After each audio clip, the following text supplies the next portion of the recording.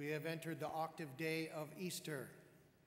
In the church, we celebrate the day itself for eight days, and then a total of 50 days in the Easter season. I love being a Catholic. I mean, the other people have put the plastic eggs in the baskets and all that away, and we continue to celebrate the resurrection of our Lord Jesus Christ in the flesh.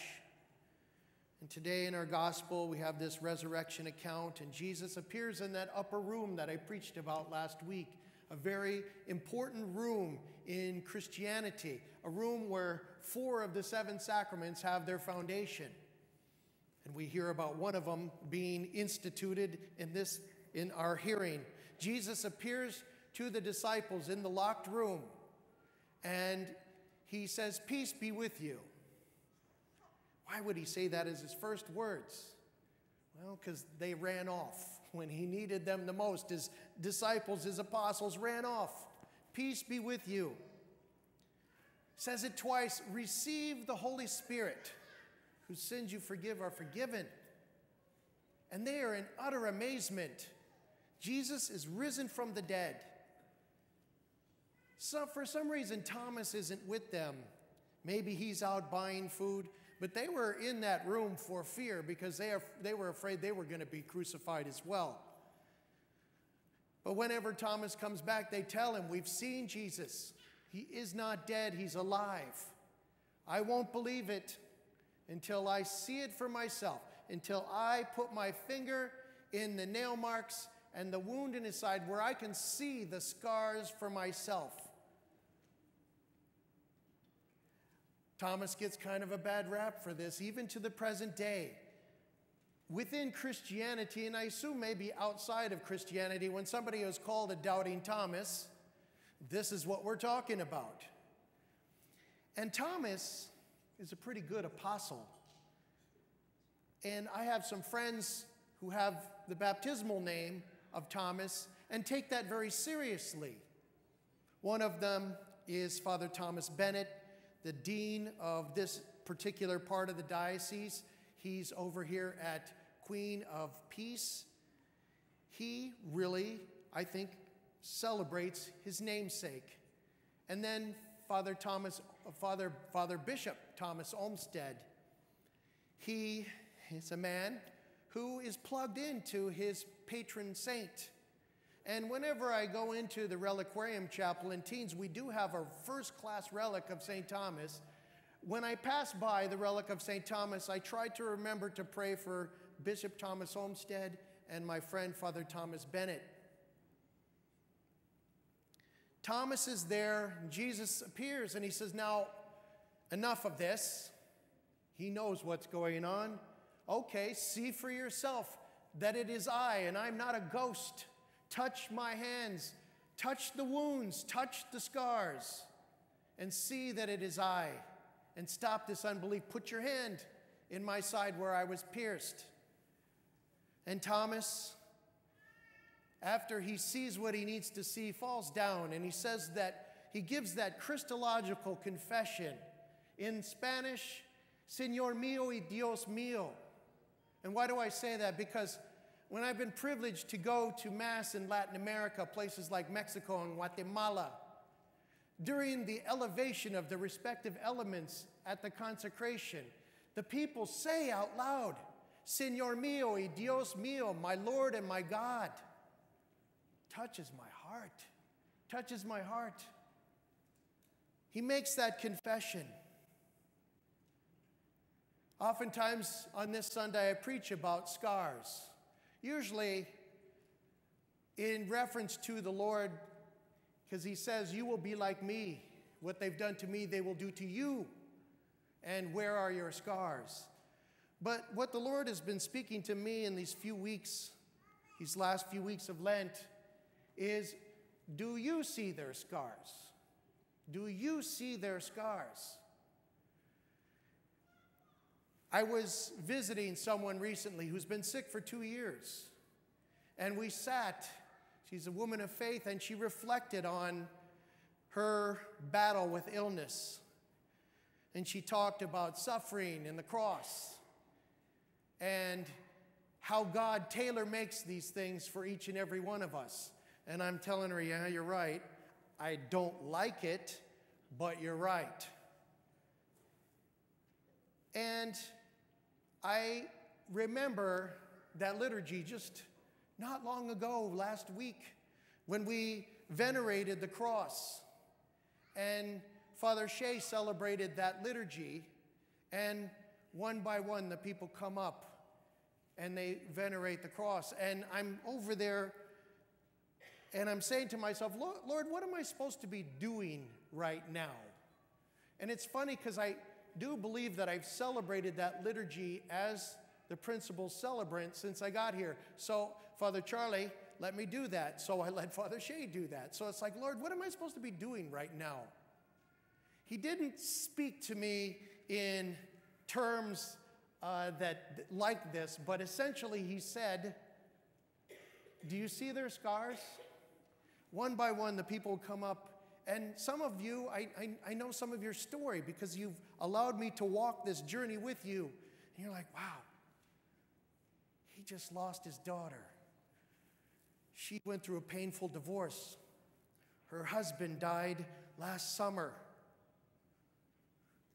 This one is suffering because their child is out living a very sordid life. And even teens, knowing some of their stories and saying, This one lost his or her friend because they're trying to walk the road with Jesus. See the scars that they bear for love of me, Jesus would say. See their scars.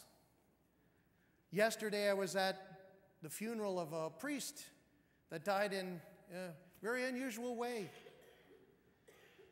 He was going to adoration at a parish church, and he pulled in and he was he got out to walk over there and he fell. I don't know if he had low blood sugar. He was in his mid 70s, but he fell and he hit his head very seriously. And the people in the office came out and they said, Father has fallen, and he's a retired priest. And the pastor there uh, went, went to the hospital with him, gave him the last sacraments, and they told the pastor, It's very bad. It doesn't look like he's going to make it. And he did not. And I know in previous months that he had suffered from illness. Do you see the scars? And I ran into somebody last week I've never known this woman before she wound up wheelchair bound. But she's in a motorized wheelchair, and I don't know what the condition is, but it seems like her ability to move is becoming less and less. I don't understand it, but she's always in a good mood, smiling, joyful to see others. Do you see their scars? I visited a woman in the hospital. Well, she's in nursing care and has been for, for a long time. And I had another kind of emergency sick call, and I said, Sorry, I can't spend as much time as I would like with you. And no problem, Father. He said, I'm going to give you a quick anointing and Holy Communion, then I'm going to be on my way. And she's always so pleasant. And it's like, you have every reason not to be. Do you see their scars? And then last week, we heard about those bombings in Sri Lanka. And those Christians that gathered to pray, persecuted Christians because they are a minority there. And I even saw a video last night, a surveillance video from security cameras that may have identified one of the perpetrators wearing a backpack, walking through the streets and he even had the wherewithal to pat a little kid on the head before he went into the church. And they showed him enter the church, and the people were seated as you are now. I don't know what part of the liturgy they were in, but he kind of worked his way up to the front, and then that's the last scene from the video because I guess that's when the explosion took place. And to see that image of the resurrected Jesus as a statue, and it was in the paper, I thought that it was, it was peppered with shrapnel because the resolution in the paper that I received was, was not good. But Father Kurt Pereira had posted a photo that was better. It was the blood of the Christians that came there to worship. Not, they were not Easter worshipers. They are worshipers of the Lord Jesus Christ on Easter Day. Then I heard, heard this morning about a shooting in a synagogue in California. Do you see their scars? And we all have that tailor made cross or those tailor made scars, like that woman told me. How do we deal with it? How do we navigate these waters? Sometimes I'm mystified by this. And I remember Fulton Sheen saying many decades ago when you love, you can endure anything. And I had a conversation with the medical uh, doctor uh, that I'd never met before in recent weeks. And she gave me some information that I'm going to amend that statement of Fulton Sheen. She said that the response, that maybe even the antidote for all of this, is allowing the love of God to penetrate our hearts, to allow the love of God to come in, to accept the love of God, realizing, she said, that we are unconditionally loved and to accept that. I don't know about you, friends, I have a hard time with that. Because I got a little something in my head that says, you don't deserve it. You don't deserve it. You got to work harder, you got to be smarter, you got to do this, you got to do that, and then maybe, maybe I'll like you. And that is such a lie. She said, allow the love of God in. This will dissipate all kinds of things, she said anxiety, and etc., etc., etc. Allowing it in. So when you love, you can endure anything. When you know you are loved, you can endure anything. And know that you are loved by the Lord God Himself. Unconditionally. Does He want to leave us in our present condition? No, no. He wants to pull us out of the muck. That's why sin makes no sense.